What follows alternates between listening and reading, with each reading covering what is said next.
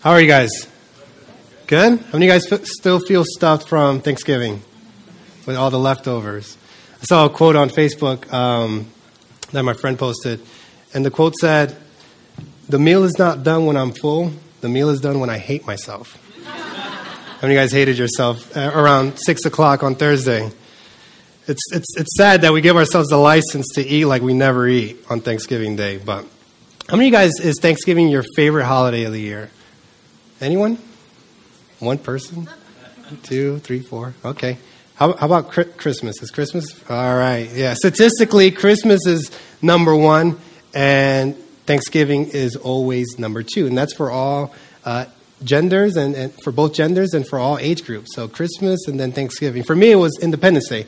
My dad's birthday is on the 4th of July, and so I have a lot of memories just going down to the Jersey Shore, seeing the fireworks, and just having a good time. But my wife, she was here at the first service, at, at the 9.30 service. Her favorite is Thanksgiving. Now, I didn't say this in the first service, but she, she's a big-time foodie. She loves to eat. She loves food. And, but it, that's not why Thanksgiving is her favorite holiday. It, it's for other reasons. I remember when she first told me this was um, when we first got together. Uh, I, I, really didn't understand why Thanksgiving was her favorite holiday. I was like, that's kind of strange. But I recognized or I realized why Thanksgiving was her favorite holiday the first time I spent Thanksgiving dinner with her and her family. Some of you guys may do this. So, her and her family, they actually eat at the dinner table, which my family never did growing up. Um, so, they actually eat at the dinner table. And after they're done with their meal, the festivities pretty much moved to the living room. And for about an hour or more, they're just sharing with each other for all the things that they are thankful for to God, thankful to God for all that He's done, and thankful for, and appreciative of one another. And I tell you, that first time there, I mean, they didn't like me at first. I'll tell you guys that. I mean, I had long hair, baggy pants, big clothes. I, mean, I was only 18 or 19 when we first got together. Um, but something happened, and, and they really expressed their appreciation for me um, as well as expressing gratitude for so many other things that were, was going on in their life. And this is every year, and every year, I tell you, it's an emotional time in their household. Very emotional, very powerful. You can't help believe they're appreciated, and you can't help believe they're encouraged. I mean, very powerful time. I mean, if you've never done it, I encourage you to do it. And, and so we're, today we're going to be talking about Thanksgiving, and this is usually a message that you would hear the Sunday before Thanksgiving. This is sometimes a message that's preached for those churches that have services on Thursday morning. Um, you hear something like this, but I believe the power in gratitude is so great that I believe it's an attitude and a character that we should carry on throughout our lives. It's something that we should possess as a character, as, a, as an attitude that we walk with day by day. Such, such power it, it, affects the relationship between the giver and the receiver. That, that person who is expressing gratitude and that person receiving gratitude. One, this week, um, I think it was Friday, um, Honor and I were home. B was working. I was doing dishes and he was watching TV. And um, I could see out the window that his little buddy Orlando was outside playing with, with his mom. And uh, so I knock on the window and Orlando gets all excited. I open the window and Orlando asks for Honor. Honor's like, what's going on. Someone at the door, he gets excited. So I pick him up and show him that Orlando's outside the window. And he's like, Orlando, can I play with you? And Orlando's like, yeah. You know, they're going ballistic and ready to go play with each other. Honor asks, Honor asks Orlando's mom, Auntie Callie, can I come outside to play with Orlando? And she's like, yeah. And then finally he comes to me, right, to ask me, like, if they were going to give him the, the, the leeway to go. He asked me, Daddy, can I go outside to play? I said, sure let's go to your room so you can change and, and you can go outside to play. And as we're walking to his room, all of a sudden he does this U turn and turns around and hugs my leg and just gives me the biggest kiss on my leg. I mean, this, this is the only thing he could reach. And then he says, Thank you. And I'm telling you, that made my day. I felt like the best parent at that moment. Just his expression of gratitude. And it was genuine. I mean, it was bubbling up from within him. We can recognize genuine gratitude and we can recognize when, eh, that person really didn't mean it or it was somewhat uneventful. Have you, have you ever done something for someone, given them a gift, or came through for them in a big way, and you didn't get the reaction that you expected? How did that make you feel? Terrible. You felt like they were robbing you of something, right? You felt like you were excited about it, you had some joy bringing it, and then you drop easily. You almost feel like, oh, that person's never getting a gift from me again, or I'm never coming through for them again because they don't appreciate it. They're, they're, they're ungrateful. My question for each and every single one of us today is do we do this to God? Does God come through for us? Does He provide? Is He merciful in certain ways and, and that we could never imagine things happening for us if, unless He came through? And yet we don't turn around to give Him thanks. We don't turn around to give Him praise. And we just kind of go about our day as if nothing happened. We're going to read a story where that happens. It's about 10 lepers um, that Jesus heals all 10, and only one of them turns around to give praise to Jesus. So I want you to turn with me, and as we look at this passage, I want us to see the benefits of gratitude at the same time, see why men and women are ungrateful. So we're going to be in Luke chapter 17. If you have your Bible, please open up to Luke chapter 17. If you need a Bible, just raise your hand. We have our volunteers going around. If you don't have a Bible at home, feel, um, Diane, there's one up here, I believe. Uh, feel free to keep it. Thank you. Luke chapter 17. And if you don't mind, please stand with me as we read this first passage. We're going to be reading from verse 11 through verse 19. And it reads On the way to Jerusalem, he was passing along between Samaria and Galilee. And as he entered a village, he was met by ten lepers who stood at a distance and lifted up their voices, saying, Jesus, Master, have mercy on us. When he saw them, he said to them, Go and show yourselves to the priests. And as they went, they were cleansed. Then one of them, when he saw that he was healed, turned back, praising God with a loud voice, and he fell on his face at Jesus' feet, giving him thanks. Now he was a Samaritan. Then Jesus answered, he answered with questions. Note that. Then Jesus answered, Were not ten cleansed? Where are the nine? Was no one found to return and give praise to God except this foreigner? And he said to him, Rise and go your way. Your faith has made you well. You may be seated. I pray that God's word will speak to us today. So here we have 10 men in this story suffering from leprosy. Leprosy could have, could have been any sort of skin disease. Anyone who was suffering from leprosy was cast off from society. They had to live outside of the town, they had to remain secluded, isolated, could not come in contact with anyone else because they didn't want the skin disease to spread. Can you imagine that situation? Can you imagine being cut, cut off from everything you know? From your family, from your friends, from your career, from your job, whatever it might be. Just cut off from everyday life because of this leprosy. These men were in a dire situation, a desperate situation. Desperate situation. And all the medical advancements at that time, which were minimal, couldn't help them. Who knows how long they were in the situation? so desperate that they saw Jesus. They probably heard of him, knew something about him, knew that he was healing people, and they said, Here's our chance. Here's our hope. And they cry out. It says, no, pain, no pity, no shame. They lift up their voice. They cry out and say, Jesus, Master, have mercy on us. Master, have mercy on us. I don't know about you, but I know there's been plenty of times where I found myself in situations that I was desperate, that I was lost, I was broken, I was in need of divine help. And in that moment, your future looks bleak. And at that moment, if you're a Christian, you, you, know what I'm talking about. You know that the only thing you can do which is probably the first thing we should do, but you know that the only thing you can do is get on your knees and cry out for mercy. Cry out for God's intervention. The funny thing is, if you're not a Christian, the one thing you do is you get on your knees and you cry out for mercy to whatever power you believe in, to a higher power, because guess what? Things, situations, whether it's in need of a job, whether the light bill needs to get paid, whether it's a sickness in your body or in someone in your family, whether it's a broken relationship, whatever it is, that situation, you can't look at yourself for the solution. You can't look at your friends. You can't look at those around you. You have to look outside, beyond these four walls, beyond all these people. And you begin to look into the heavens. You begin to look for God to come in, to come through, to break, break through and do something in your life. We've all been there. And we've have all had to cry out. And the amazing thing about it, I remember not being a Christian before I was 18, being in some situations that I just made a mess of. It was my fault. I got myself in those situations. I remember just praying, God, if you do this, I will be there.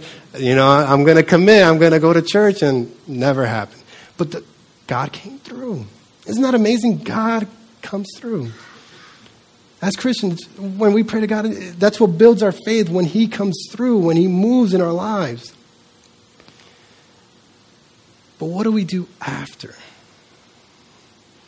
What happens when the miracle comes? What happens when the bill gets paid? What happens when you get that job? What happens when you get that relationship? Do you turn back around like this one leper and just say, Thank you, thank you, praising God?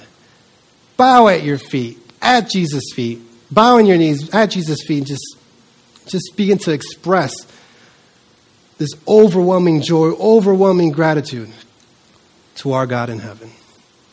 Or are you like the other nine who just go about their day? Who go into the town, get back to work? Yeah, they may be thankful, but they're not expressing it to the giver of life, the healer of our souls.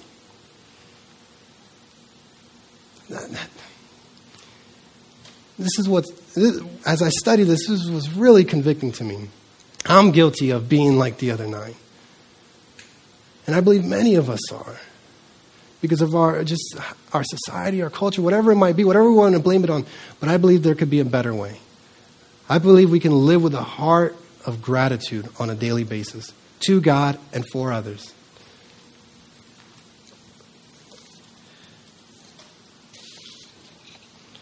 Gratitude is the natural response.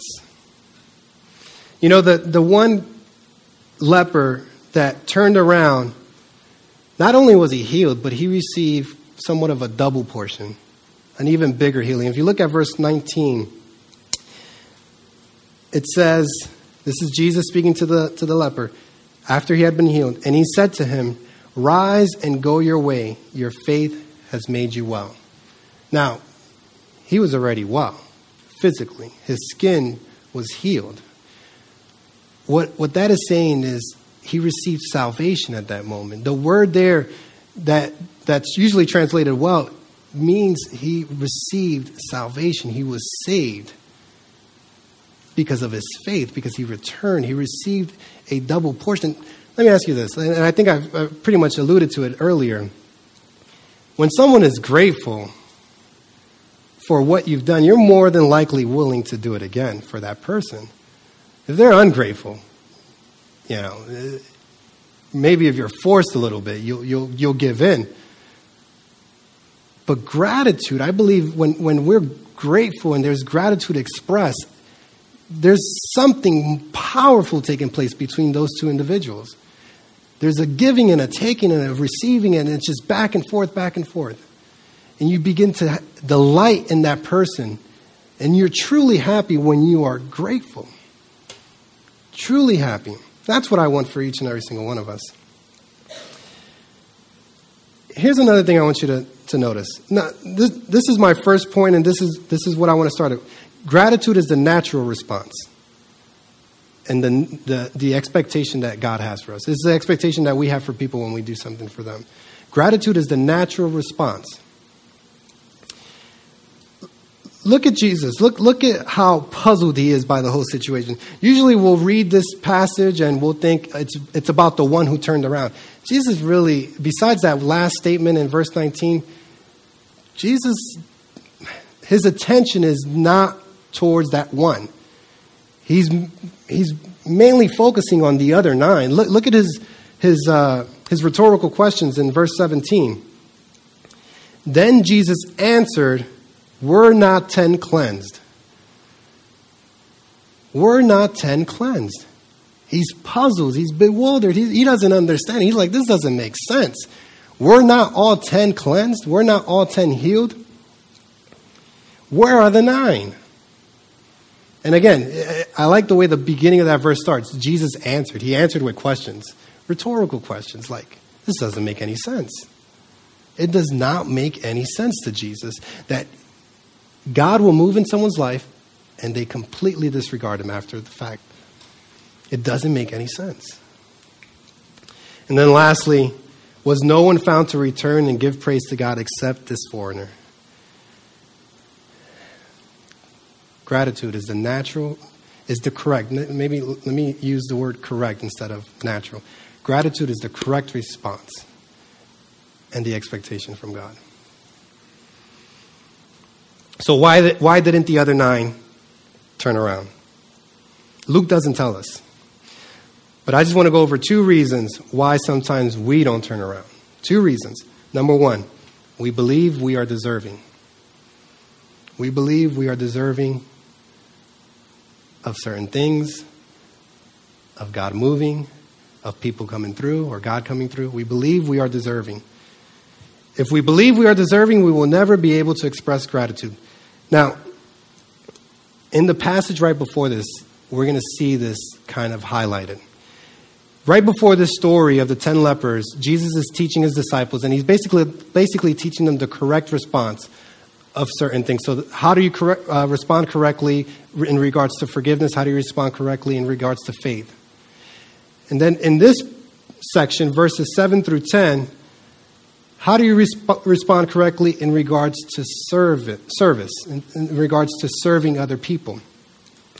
And this is what he says, verse 7 through 10, same chapter. Will any one of you who has a servant plowing or keeping sheep say to him, when he has come in from the field, Come at once and recline at table? Will he not rather say to him, Prepare supper for me and dress properly and serve me while I eat and drink, and afterward you will eat and drink. Does he thank the servant because he did what was commanded? No. So you also, when you have done all that you were commanded, say, We are unworthy servants, we have only done what was our duty. In this parable, Jesus is painting for us the relationship between a master and a servant. Right? He's saying, if you are a master and you have a servant, and that servant's been working outside all day, plowing, picking, doing whatever he needs to do out in the field, and he comes in, do you tell the servant to sit down and eat? No. He's your servant. You tell him, hold on, dress properly, prepare me something to eat, wait on me, then after I'm done eating, you can go and eat and drink. And after you've done what you were supposed to do, I'm not even going to say thank you because you just did what you were supposed to do. Then we get this story about the 10 lepers who, remember, said, Master, have mercy on us. But in their actions, they were saying, Servant, come through for me. Servant, heal me. They believe they were deserving. Many times we believe we are deserving. We ask our, when we were young, we ask our parents for something, and we just, it's like rude. It's like, really? Do we need to behave that way? And that, that's, that's sometimes how we treat God. When He comes through for us, we just say, that's just what we expected. That's what God is supposed to do. He's supposed to come through for me. He's supposed to give me the job that I want. He's supposed to give me the relationship that I want. And if He doesn't, guess what? Uh, things are rocky between me and God. It happens to us all. We believe we are deserving. We believe we are deserving, so guess what? We can't express gratitude. But when we recognize I am so unworthy of God even doing anything for me, let alone sending his son Jesus Christ to pay for my sins, out of that understanding of our position before God, that we are truly the created being, He is the creator, that we are the servants, and He is the master, that He is the Lord. When we begin to understand our position before God, When we begin to understand our position with other people when they come through for us, that they didn't have to do it for us, we will begin to be more grateful for those around us and for our God. So, if we believe we are deserving, we will never be able to express gratitude. The second thing, discontent. We are unable to express gratitude in the areas in which we are dissatisfied. We are unable to express gratitude in the areas which we are dissatisfied. I want you to think about this. I believe that many of our moral failures are due to dissatisfaction. Many of our failures, whatever you want to call them, sins, many of our sins, our weaknesses, are due to dissatisfaction. Let me put it to you this way. If a man is satisfied with his sex life with his wife, there is no need for him to turn to an affair, and there is no need for him to turn to pornography because he's satisfied. If a person is satisfied with the financial provision that God has made in their life, there's no need for them to turn to stealing or there's no need for them to make unethical decisions in order to get financial gain. If a person is satisfied with their situation, there is no need to go outside of God's boundaries and God's plans. If you are satisfied, if you are grateful for what you have, for where God has you, you will begin to delight in God. You will begin to delight in that relationship with Him. But if you are not satisfied, guess what? You're looking for ways out. You're willing to make compromises. Honestly, I believe the key to our relationship with Christ, with God, is delighting in Him. Delighting in Him, a joy, a happiness, a thankfulness, a gratitude between us and God for everything that He has done for us. I believe if you are willing to take the t- challenge of, of developing a, a grateful heart in your life, it will completely change you. It will change you. What you struggled with before, you won't struggle with anymore. The relationships that were broken before, those things will be rest- restored because you will begin to express a heart and a gratitude to that person that it will repair, repair any broken roads. I truly believe that. Will we do it? We have so much to be thankful for. So much. Can you just think of one thing right now that you're thankful for that's happened in the past year? To God or from someone else? I believe we can go beyond one thing life, family, friends, just having a roof over our heads, food to eat, clothes to wear. If we have those things, what else do we need, really? What else do we need? Psalm 50, verse 23. It reads, He who brings thanksgiving as his sacrifice glorifies me. This is God. He who brings sacrifice, he who brings thanksgiving as his sacrifice glorifies me. Just thanking God brings glory to him all your attention is just focused on Him, it brings glory to Him.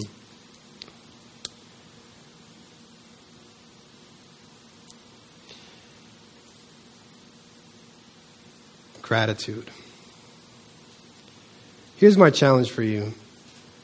My, my son taught me this, and, and I know I talk about my son a lot, and I, I don't want you to think I think he's super spiritual or anything, but we, we just learn so much from, from children. I mean, it's just amazing when, when Honor began to pray, um, his prayers would go something like this Thank you for mommy. Thank you for daddy.